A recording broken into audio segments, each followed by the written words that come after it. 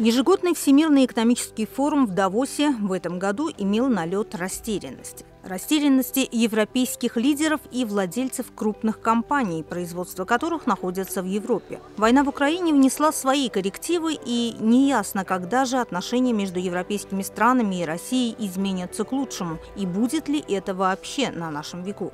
Эту зиму Европа с трудом пережила, несмотря на энергетический кризис, который больно ударил по кошелькам как простых европейцев, так и владельцев больших производств. Но луч надежды все же есть. Им для части европейских государств стал Азербайджан. Причем сегодня этот луч превращается в достаточно яркий источник света и тепла, если говорить о трансадриатическом газопроводе, коммерческая эксплуатация которого началась 31 декабря 2020 года. Поэтому вполне естественно, что в Давосе в столь непростые для Европы времена взоры многих участников форума были обращены к президенту Азербайджана Ильхаму Алиеву.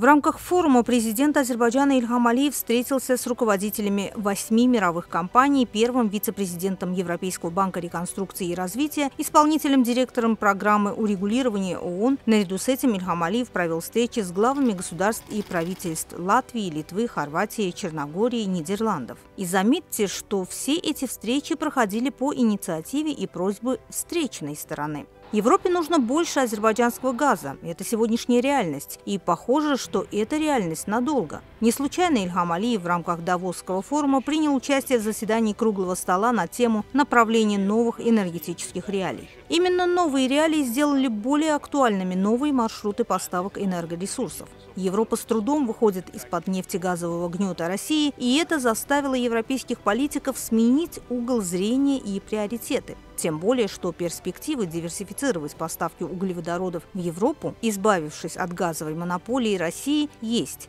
С этого года Азербайджан приступает к транзиту нефти из Казахстана, а не только из Туркменистана, который осуществляется уже на протяжении многих лет. И есть потенциал использования этого коридора и для углеводородов.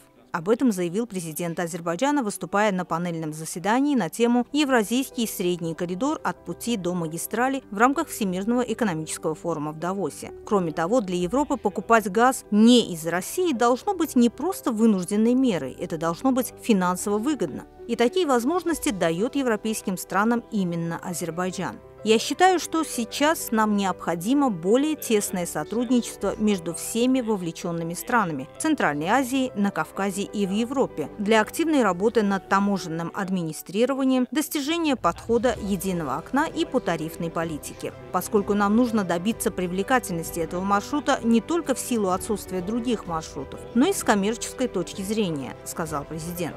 Напомним, что в Давос президент Азербайджана отправился из Абу-Даби, где участвовал в неделе устойчивого развития, а в конце прошлого года, 17 декабря, в Бухаресте было подписано четырехстороннее соглашение, предусматривающее строительство кабеля по дну Черного моря, по которому в Европу пойдет электроэнергия из Азербайджана. Другими словами, Азербайджан под руководством президента Ильхама Алиева готов к вызовам не только сегодняшнего дня, но и будущего.